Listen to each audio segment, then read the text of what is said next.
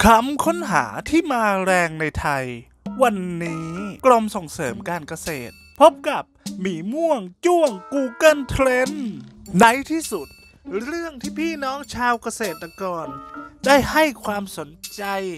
มากที่สุด ก็กลับมาติดเทรนด์อีกแล้วนะครับผม เรื่องของกรมส่งเสริมการเกษตร เรื่องราวจะเป็นยังไงบ้างทำไมคำนี้ถึงติดเทรนด์ขึ้นมานะครับ กรมส่งเสริมการเกษตร เร่งทำข้อมูลรับสิทธิ์เยียวยาโควิด อธิบดีกรมส่งเสริมการเกษตร บอกว่าเร่งทำทะเบียนเกษตรกร ส่งต่อหน่วยงานคัดกรองวงเล็บ คัดกรองนะและรับสิทธิ์ช่วยเหลือจากโควิด -19 วงเงิน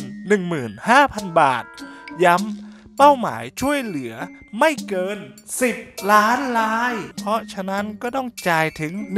150,000 ล้านบาทนะครับผม โอ้ ก็ไม่น้อยนะ นายเข้มแข็ง ยุติธรรมดำรง อธิบดีการส่งเสริมการเกษตร เนี่ยเนี่ยคนเนี้ยคนเนี้ยเปิดเผยกับสำนักข่าวว่า โครงการช่วยเหลือการเกษตรกรจากโควิด -19 รายละหมื่นห้าก็จะเร่งจัดทำทะเบียนเกษตรกรของกลุ่มผู้ปลูกพืช โดยมีทั้งการขึ้นทะเบียนใหม่และปรับปรุงข้อมูลนะครับ ที่พี่น้องชาวเกษตรกร ให้ข้อมูลมาและให้ความร่วมมือในการปรับปรุงข้อมูลนะครับผม ซึ่งในเบื้องต้นนะครับ แบ่งออกเป็น 3 กลุ่มด้วยกัน คือกลุ่มที่ 1 เกษตรกรที่ขึ้นทะเบียนและปรับปรุง ทะเบียนการเกษตรปี 62 และปรับปรุงทะเบียนเกษตรปี 63จำนวน 6.3 ล้านครัวเรือนนะครับ กลุ่มที่ 2 ขึ้นทะเบียนและปรับปรุง ทะเบียนเกษตรกรก่อนปี 62 และยังทำการเกษตรอยู่ 1.7 ล้านครัวเรือนนะครับ และกลุ่มที่ 3 เป็นเกษตรกรรายใหม่ที่ยังไม่ขึ้นทะเบียนการเกษตรนะครับผม และทำการปลูกพืชมาก่อนแล้ว 15 วันนะครับ ต้องมาติดต่อขึ้นทะเบียนเกษตรกรกับผู้นำชุมชน หรือที่สำนักงานเกษตรอำเภอที่ตั้งแปลงปลูก ภายในวันที่ 15 พฤษภา ทั้งนี้ก็อย่างที่บอกเลยครับว่าเขามีเป้าหมายจะช่วยคือไม่เกิน 10 ล้านลายนะและถ้าหากถามว่าตรวจสอบสถานะเกษตรกรได้ที่ไหนก็ที่ farmer d o a e g o t h นะครับ เดี๋ยวผมจะขึ้นตัวหนังสือไว้ให้เลย สิ่งที่ต้องมีและแนวทาง การแก้ไขข้อมูล อย่างแรกที่เกษตรกรทุกท่านต้องทำคือ เข้าไปที่เว็บนั้นแหละ อย่างที่ว่าเดี๋ยวผมจะติดลิงก์ไว้ให้ด้วยนะครับ แล้วก็กรอกหมายเลขบัตรประชาชนแค่นั้นเองถ้าผลค้นหานะครับ แสดงเป็นปรับปรุงล่าสุดนะครับ ปี 62 หรือปี 63 นะครับ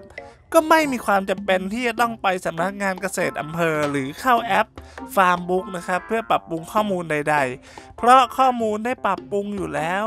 ให้ทุกคนไปตรวจสอบบัญชีธนาคารทกสนะครับ ว่าบัญชีธนาคารทกสที่ถืออยู่ ชื่อนามสกุล